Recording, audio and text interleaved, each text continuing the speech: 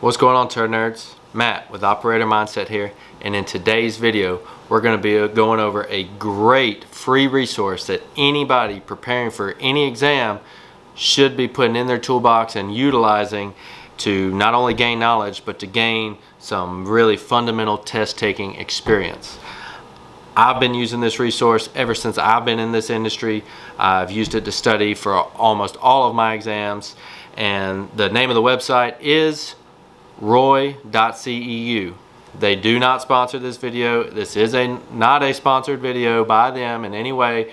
This is me showing them some love as an operator.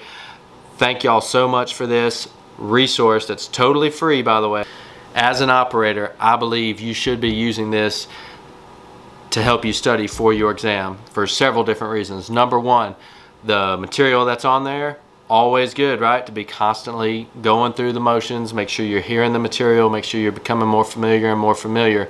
Number two, probably most important to me, is the way the questions are worded.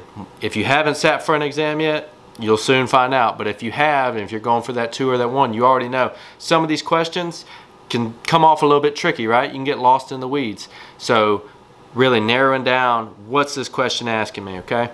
And then thirdly, the way the answers are presented. When you're going in your exam, there's four, there's it's multiple choice, but there's gonna be a couple that you're like, man, it could be either one of those.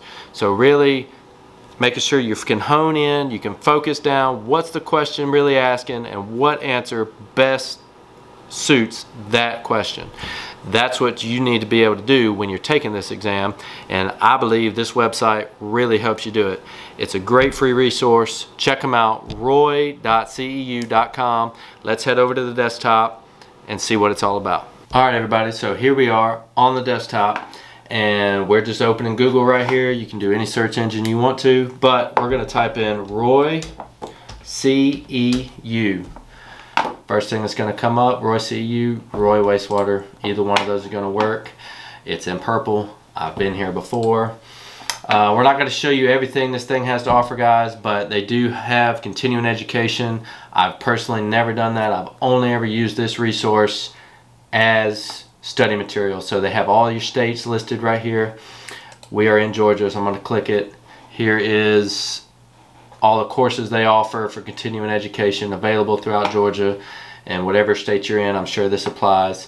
We're going to go right up here to practice quizzes, test your knowledge. So all of these, again, are totally free. And also, again, royceu.com. They do not sponsor this video. They are not a sponsor of us. I just really want to give them a shout out. Tell them thank you so much for, uh, for this amazing um, study material that they have on here and it really is like it's one of the better ones I've ever seen so I've used it repeatedly throughout all my certifications and testing and just get on here you can run through an exam super quick. So um, here they are. You can they have a variety. Of that wastewater study guide module one. That's 175 questions okay?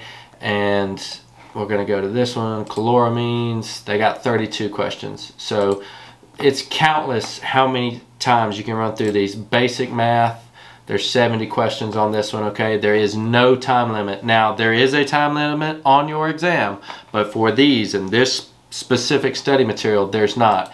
So just wanted to familiarize you guys with this. We're to run through one real quick. Microbiology that's what I like to nerd out on. So we're to run through a few of them and they got a few of them on here that are really good and I just want to talk about that and tell you why I think it's such a good resource for you to be utilizing.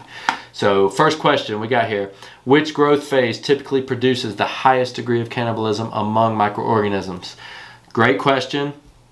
Can't say, I'm not really sure if I've seen this on exam or not, but probably one similar to it. This is going to require you to know what those growth rates are and know what the bugs are doing in each phase of that growth, right?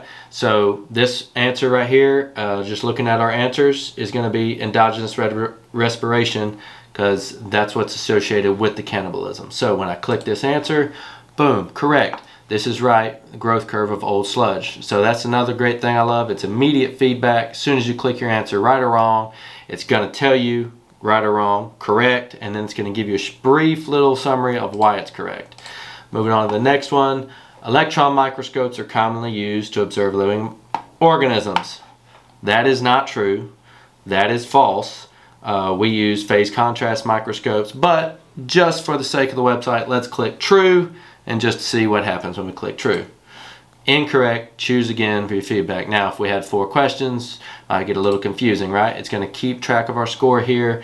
All you gotta do is then click false, and then it tells you what electron microscopes are used for. So, again, that immediate feedback I think is great for those of you that are studying. It helps you it helps you retain it and then remember what's going on as you go. So we're going to go through a few more of these. There's one question specifically I really want to show you guys because it's just it's it it really hits home on some familiar things you're going to see on your exam as in the way the answers are and the way the question is worded.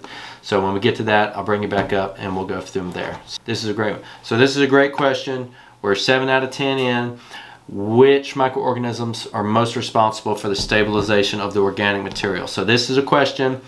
They're going to pull on your bug knowledge here for activated sludge. And when you see that what's responsible for stabilization? Well what are you constantly always hearing right? Stalk ciliates stalk ciliates those are the best ones which is true. Rotifers and worms if you know anything about them you know those are older sludge right? So bacteria they're all bacteria right so immediately your mind might jump on stalk ciliates, but that's where it's a little tricky. You should know that in activated sludge, what is constantly um, actually consuming the BOD and doing all the work is bacteria as a whole. These guys up here, those are indicator organisms. So those are things we can see under the microscope. They give us an indication of things are going good, but the answer is actually going to be bacteria. And this is one way where it could get a little tricky if you're too quick to click, right? So let's do a bacteria. And they're going to tell you exactly what I told you. They are indicator organisms. So that's good. On to the next question. Here we go. This, number 10, guys, this is a question I really want you to pay attention to. The way the answers are given, it is a great, um, one of the great reasons why this website is, I think, so phenomenal. It actually gives you the answers in a way that I know I've seen them similar to that on an exam. So close that if you're not 100% sure what the question's asking you, you could very easily click the wrong one. So, which conditions will typically allow filamentous bacteria to grow and become dominant in the activated sludge process? So, this requires you to know a little bit about filamentous what, how do filamentous, what do they love, right? They love low DO, they, low, they love low F to M. Um, we're talking about activated sludge, obviously. So you got to know what DO is, right? Dissolved oxygen. Does filamentous like it low or high? I just said low. So boom, first answer right here is low DO.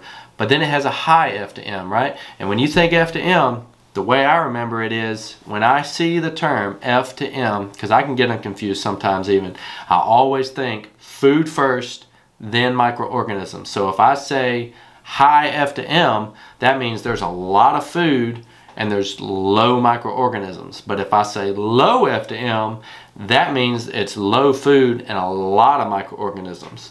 So always thinking about it like that. I always think when I see F to M, think about the food first. What's happening to that food to microorganism ratio, especially in some of these questions. They can get tricky.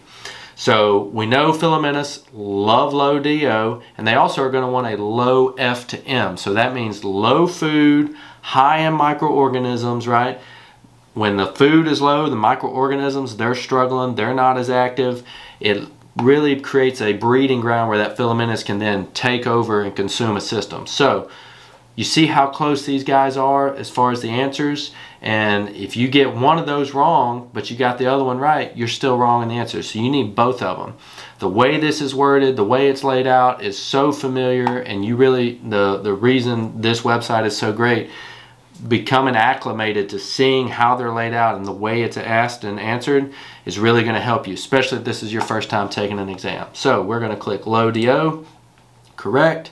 Well, we scored a 90. Again, there's no time limit. Uh, could have got 100, but you know, I answered that one wrong just for you guys. If you want to show all questions, you didn't have to do it that way. You could go through it like this. It shows you what I guessed wrong, what I guessed right. Um, again, guys, Roy CEU not a sponsor, but just a great free resource out there online for anybody studying, trying to get that class three certification, or even your twos and your ones. I can't tell you how many times I had some free time, come in here, ran through one of these modules, right, just to familiarize myself and get the get the blood flowing up there for the wastewater. Um, so many things if you know that you struggle with the troubleshooting or you know that you struggle with the microbiology or basic concepts you can run through all these guys. It's the limitless. There's no you know you don't have to log in. You just get on here and go. So thank you roy ceu for this great free resource. And guys if you like this video make sure you like and subscribe to the channel for more tips regarding your test taking abilities regarding your exam prep all of that stuff, operator mindset. Subscribe to the channel. We'll see you out there. Turn it out.